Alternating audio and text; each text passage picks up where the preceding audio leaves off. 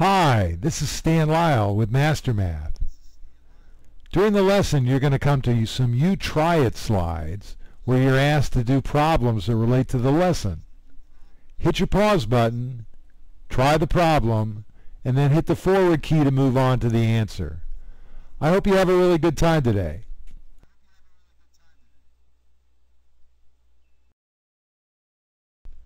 This lesson's about rate of change, slope, positive slope, and negative slope. And we're going to start with a multiple choice question. Choose either A or B. A. These babies are being forced to learn math. Or B. You have a babysitting business. You have a babysitting business and you earn $10 per hour. Well, that's a unit rate. You earn $10 per one hour. But it's also a rate of change $10 per one hour. An increase in your labor of one hour results in an increase in your earnings of $10. For instance, if you work for one hour, you've got 10 bucks. But let's say you increase that to two hours. Now you got two times 10 bucks or 20 bucks. Or three hours results in $30. Four hours results in $40. Each time the hours increased by one, the dollars increased by 10. We could turn this into a formula. We could call X the number of hours worked, and we could call Y the dollars earned. Then we could have a formula that Y, the dollars earned, equals 10 times X, the hours worked. And that 10 is our rate of change. It's also our slope. M is the mathematical symbol for slope. So in this equation, m equals 10. We could graph this equation, y equals 10x. We could create a table, input some x values, figure out what the y values were, plot those points, and then draw a line. And we'd have a line that represented y equals 10x. Now let's think about this line. Y. Y is an amount of money. Y is how much money you've made babysitting. And X is the amount of time you spent babysitting to earn that amount of money. So, for instance, if we had this point right here, that represents one hour of babysitting and you earn $10. If we go to two hours of babysitting, we add one hour to our, the amount of time we babysat, we add an additional $10 to our earnings. So that's a very steep slope. Our Y value increases a whole lot for each increase in our X value. Now we calculate that slope with a formula. Slope, or M, equals rise over run. And to calculate that, you need to pick two points and figure out how much it rises and how much it runs. And it's best to pick points where the line grows through the intersection of two grid lines. For instance, if I got an X and a Y line, I want to pick a point where they cross. And here's a point where they cross, and here's another point where they cross. So I'm going to pick those two points and calculate the slope of the line. How much does it rise? Well, it rises 10, and it rises a positive 10. It's going up towards the larger numbers. And how much does it run? Well, it runs 1, a positive 1, towards the larger x values. So my slope, my m, is a rise of 10 over a run of 1, or a slope of 10. Now you try this one. hit the pause button, do the problem, and then hit the forward key to move on to the answer.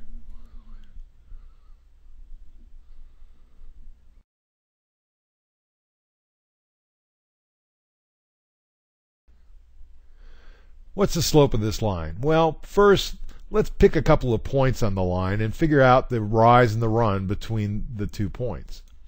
And we want to pick points where the uh, uh, line crosses the intersection of a couple of grid lines. Now, we need to get both the rise and the run as we move from point 1 to point 2. We'll call this point 1 and we'll call this point 2. So my rise would be up to there, and my run would be over to there. I have a rise of 1, a run of 4. And they're both positive numbers because I'm moving up towards bigger numbers along the y-axis, and then to the right towards bigger numbers along the x-axis. So my slope is rise over run, or 1 over 4. My slope is one quarter. Another way to calculate slope is to use the coordinates of any two points on the line. That bottom point is at 110, and the next point is at 220. Well, slope is rise over run. Rise. Rise is moving along the y-axis. Those are my y terms. I move up 10 units to get from 10 to 20. But if I subtracted 10 from 20, I'd come up with those 10 units. Same's true of the x. My run is movement along the x-axis, and I'm moving from this point over to this point. And that's just a run of 1. But that one, that run of 1 is defined by my x values. My 2 minus my 1 equals 1. So I could calculate the slope of this line by calculating the change in y and dividing it by the change in x. Now I'm going to start with the top point, this point up here. And my y value is 20, so I'll put the 20 there, and then I'll subtract the y value for the other point. Then I'll do the same with x. But I've got to start at the same point. My first x value is 2, and then I'm going to subtract my other x value, 1. So I get 20 minus 10 over 2 minus 1, or the slope equals 10 over 1.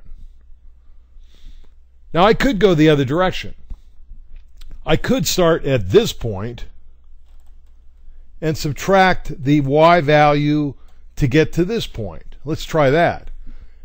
The y value at this point is 10, and I'm going to subtract the y value at the other point, 20.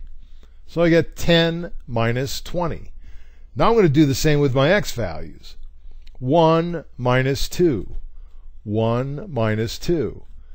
And 10 minus 20 equals minus 10, and 1 minus 2 equals minus 1. So going from the bottom number to the top number, I get minus 10 over minus 1, and going from the top number to the bottom number, I get 10 over 1. Are those different numbers? No. 10 over 1 equals 10. Minus 10 divided by minus 1 also equals 10. So my slope is positive 10. Well, here's our equation for our babysitting business and the line that represents that equation. Again, y, or the amount of money you earn, equals 10 times x, the number of hours you work. Well, fortunately for you, you've got a dear old Aunt Susie and Aunt Susie always gives you a $5 tip. She always pays you more than $10 an hour. She always gives you $5 extra. So for Aunt Susie, your earnings equals $10 times the number of hours you babysit plus an extra $5 tip. Now I wonder how that changes the equation uh, or the line for the equation. Well, actually, I don't wonder. I know, and I'm going to show you. In this situation, we start earning nothing. And when we've worked zero hours, we've earned zero money. So the, the line starts at zero, zero, the origin. But with Aunt Susie, we earn an extra $5. We know we're going to get this $5 no matter how many hours we work. So we don't start at zero, we start at $5. And the line goes up and doesn't start at zero it starts at 5. But the slope hasn't changed. The slope is still 10. For each increase of one hour, we still go up in earnings by $10. Well, here's another line, and we need to calculate the slope. I've already picked a couple of points where the line goes through the intersection of grid lines. And now I just got to calculate the rise and the run because my slope equals rise over run. Well, if I start at the bottom point, I rise 3, and I rise positive. I'm going towards the bigger y numbers. So it's positive 3 rise. And I run negative 1 because I'm running not towards the larger x values, but towards the smaller uh, x values. I'm really subtracting 1 from the x value of my first point. So my rise is positive 3 and my run is negative 1. So my slope equals 3 over negative 1 or negative 3. This line has a negative slope. Here's another line and it's got a positive slope. And it's pretty easy to tell the difference. A positive slope rises as you move left to right, and a negative slope falls as you move left to right. On the red line, as I move from the left towards the right, the line's rising. On the green line, as I move from the left towards the right, the line's falling. Try this one. Hit your pause button, try the problem, and then hit your forward key to move on to the answer.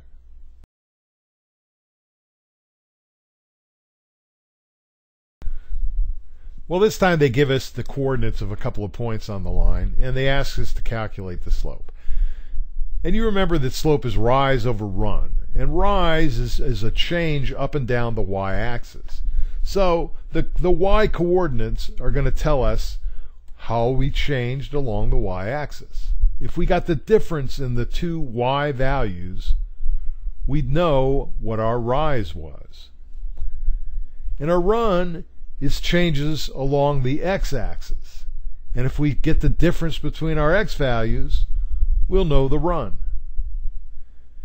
And we need to be consistent. We need to move from point 1 to point 2, or we can move from point 2 to point 1.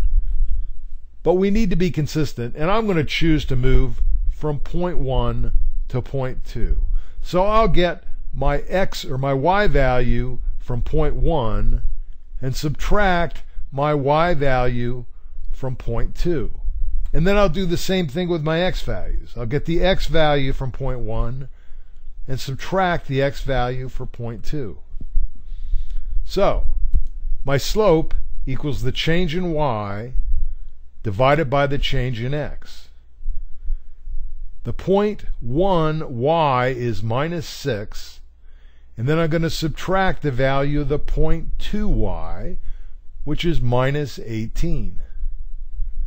And I'm going to put that over the difference in my uh, x values. The 0.1 x value was 3. The 0.2 x value was 7. So it's 3 minus 7. Now minus 6 minus minus 18 is the same thing as minus 6 plus 18. And then I can simplify that again. Minus 6 plus 18 equals positive 12. 3 minus 7 equals negative 4. So my slope equals 12 over negative 4, or negative 3. Well, look at this line. That's a horizontal line. It's really not going up or down. It's just staying level. It really has very little, if any, slope. Actually, it has no slope. If we were to calculate the slope, we'd calculate the rise, and it doesn't go up. So the rise is 0. And we divide that by any run. In this case, I picked 3. And 0 divided by 3 equals 0. A horizontal line has a slope of 0. Here's a vertical line. And it's got a huge slope. It goes straight up. What would happen if I calculated that slope? Well, let's do that. My slope would, would be an infinite rise divided by no movement at all from left to right and an infinite rise divided by 0 is an undefined number. So the slope of a vertical line is undefined. That's our lesson on slope and rate of change. I hope you learned a lot. Now it's time to test your skills. Go to www.mastermath.info and you'll find worksheets and quizzes there to make sure you understand this subject. I hope you had a great time. I hope you learned a lot. And I hope we see you again real soon.